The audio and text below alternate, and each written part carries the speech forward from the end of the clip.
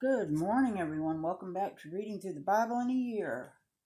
I'm so sorry I've gotten so far behind on this. It's just been a really, really busy week um, between doctor's appointments and for myself and for my hubby. And um, if y'all would keep him in prayer, he's on his will be on his way here after a bit to go see the results of his MRI, and we're just praying that it's um, not something he's going to have to have surgery on from where he fell out of the truck.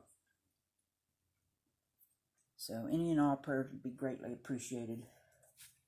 We um, are starting in book of James. Here, boy, we're getting through the New Testament so fast. Um, I'm not gonna. The Old Testament's not gonna keep up, so we'll be doing a lot of Old Testament reading.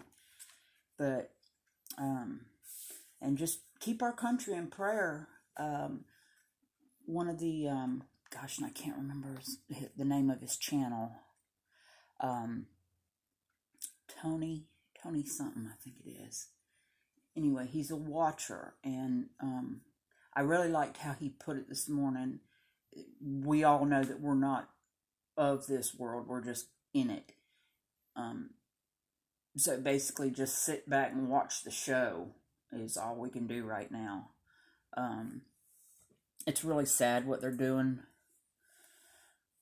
behind the scenes with all this stuff that's going on this morning. We still don't know who our president is, and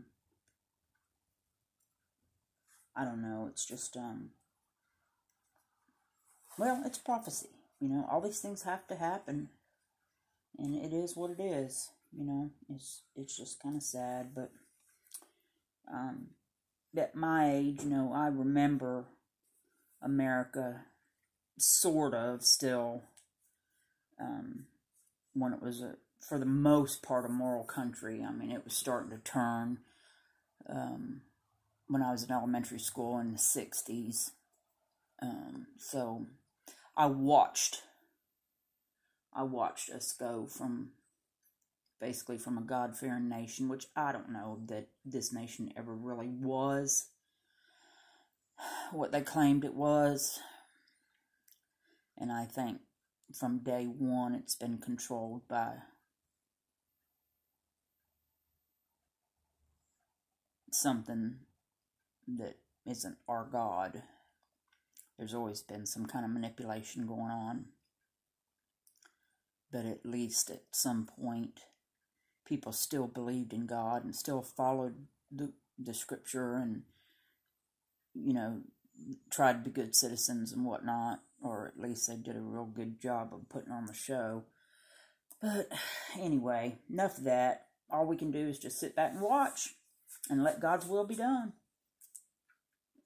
And that's all I've been praying for. You know, it, in my humble opinion, um, we have two presidential candidates, one left wing, one right wing, same dirty bird. That's the way I look at it. So it doesn't really, it does matter to me be, because I think one side's got a lot more stuff that's going to hurt us in the long run than the other side. But they've both got their own agendas, and none of it's good for any of us, so it really doesn't matter at this point. I'll put my faith and trust in Jesus. I don't need to put it in a man, so. Anyway, let's get off of that subject and we'll quit discussing politics and start discussing religion. and let's get into the into the word here. Um, oh, and actually, um, I had a. I'm not sure yet because I haven't gotten confirmation, but I think I actually got a word from God last night. And once I do get confirmation this, that this was truly for him, I will share that it's nothing big, major, whatever. It was just a sentence. And it was right in that time between being asleep and being awake. And it was just like a voice right in my ear. So as soon as I get confirmation on that, I will share the word. And um, I hope that was from God. I really do because I've never I've never had anything like that happen to me. So this is kind of exciting. to now know that um, I'm personally hearing from God too. So I'm hoping that's what it was. That he'll he'll give me his confirmation in time whenever the time's right. So anyway, everybody, here we go. We're in the book of James, chapters one and two, possibly three. We've only got five book or five verses in this. Um, oh, five chapters in this book. So we'll get through what we can today. How much time have I wasted? Five minutes. Okay, and of course now the dog starts barking. So let me go ahead and get him in here before I start this, instead of, because he will bark That's why I him in. Took stay outside and enjoy the weather for a while. You want to come in? Isaac. Come on.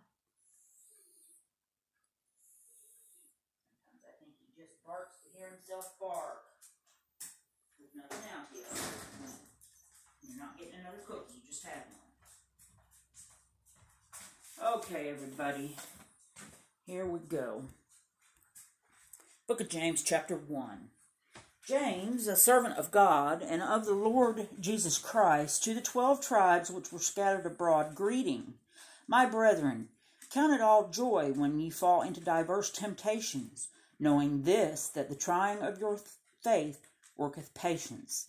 But let patience have her perfect work, that ye may be perfect and entire, wanting nothing. If any of you lack wisdom, let him ask of God that giveth to all men liberally, and upbraideth not, and it shall be given him. But let him ask in faith, nothing wavering, for he that wavereth is like a wave of the sea driven with the wind and tossed. For let not that man think that he shall receive anything of the Lord. A double minded man is unstable in all his ways. Let the brother of low degree rejoice in that he is exalted but the rich, in that he is made low, because of the flower of the grass he shall pass away, because as the flower of the grass. For the sun is no sooner risen with a burning heat, but it withereth the grass, and the flower thereof falleth, and the grace of the fashion of it perisheth. So also shall the rich man fade away in his ways.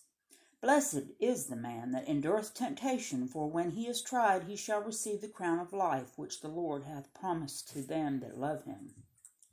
Let no man say when he is tempted, I am tempted of God, for God cannot be tempted with evil, neither tempteth he any man. But every man is tempted when he is drawn away from his own lust and enticed. Then, when lust hath conceived, it bringeth forth sin, and sin, when it is finished, bringeth forth death. Do not err, my beloved brethren. Every good gift and every perfect gift is from above, and cometh down from the Father of lights, with whom is no var- variableness, neither sh- shadow of turning.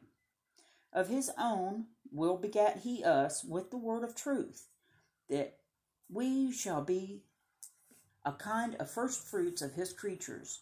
Wherefore, my beloved brethren, let every man be swift to hear, slow to speak, and slow to wrath. For the wrath of man worketh not the righteousness of God. Wherefore, lay apart all filthiness and super, superfluity of naughtiness, and receive with meekness the engrafted word which is able to save your souls.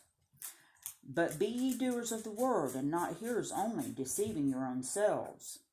For if any be a hearer of the word and not a doer, he is like unto a man beholding his natural face in a glass. For he beholdeth himself and goeth his way, and straightway forgetteth what manner of man he was. But whoso looketh into the perfect law of liberty, and continueth therein, he being not a forgetful hearer, but a doer of the work, this man shall be blessed in his deed. If any man among you seem to be righteous, and bridleth not his tongue, but deceiveth his own heart, this man's religion is in vain. Pure religion and undefiled before God and the Father is this to visit the fatherless and widows in their affliction and to keep himself unspotted from the word from the world. Chapter 2 My brethren, have not the faith of your Lord Jesus Christ, the Lord of glory with Lord of glory with respect of persons. For if there come unto your assembly a man with a gold ring, in goodly apparel, and there come in also a poor man in vile raiment, And ye have respect to him that weareth the gay clothing, and say unto him, Sit thou here in a good place, and say to the poor, Stand thou there, or sit here under my footstool. Are ye not then partial in yourselves, and are become judges of evil thoughts?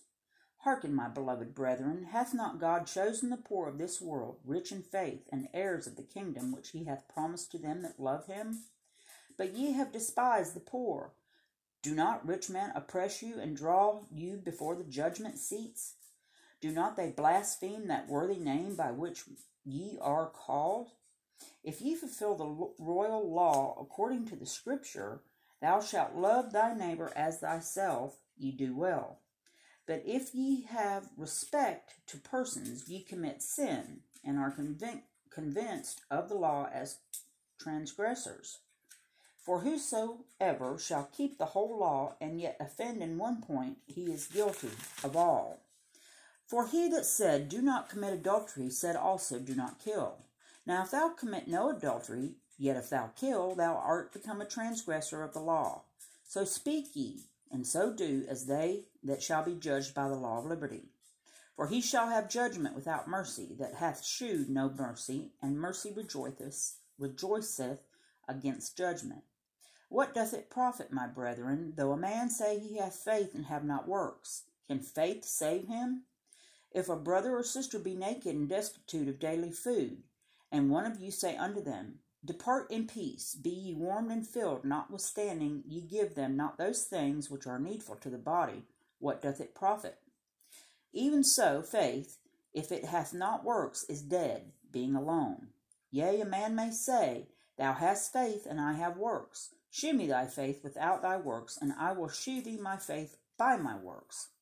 Thou believest that there is one God, thou doest well. The devils also believe and tremble. But wilt thou know, O vain man, that faith worketh works is dead? But that faith without works is dead? Was not Abraham our father justified by works when he had offered Isaac his son upon the altar? Seest thou how faith works with his works, and by works was faith made perfect? And the scripture was fulfilled, which saith, Abraham believed God, and it was imputed unto him for righteousness, and he was called the friend of God. Ye see then how that by works a man is justified, and not by faith only. Likewise also was not Rahab the harlot justified by works when she had received the messengers and had set them out another way? For as the body without the spirit is dead, so faith with, without works is dead also. Well, I didn't do too well on that reading today, but I know that y'all get the gist of it. I'm so happy you stopped by to have a listen. Everyone have a very blessed day today, and we'll see you next time. Be kind to one another.